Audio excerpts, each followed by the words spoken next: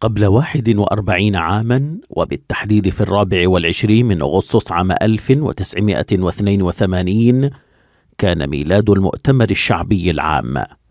بعدها بثمانية أعوام جاء الإعلان عن ميلاد التجمع اليمني للإصلاح. وكحال الحزبين فإن لبقية الأحزاب تاريخ ميلاد شاهد على مسار تعددي وحياة سياسية أعلى صوت فيها صوت الشعب الذي يتحدث عبر صناديق الاقتراع. على النقيض من تاريخ ميلاد الأحزاب المستند لصوت الشعب يبقى تاريخ الحادي والعشرين من سبتمبر تاريخا كتبته الرصاص وحضر فيه الموت واحتلت فيه العاصمة ونهبت فيه مؤسسات الدولة وألغي فيه صوت الشعب ليهيمن على المشهد صوت خامنئي من وراء الكواليس إلى حين.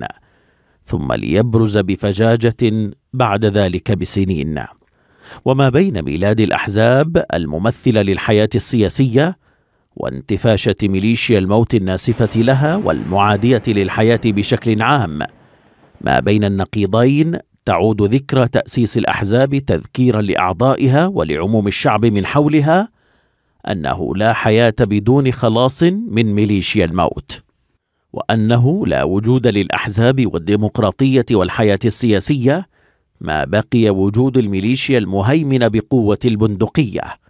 وتلك بديهيات تجعل الاحتفاء الحقيقي للأحزاب بذكرى ميلادها كامنا في عدم الوقوع في فخ صراعات الهامش التي يراد جرها إليها كي تبقى الميليشيا تعبث في متن الوطن وتستبيح كرامة الشعب.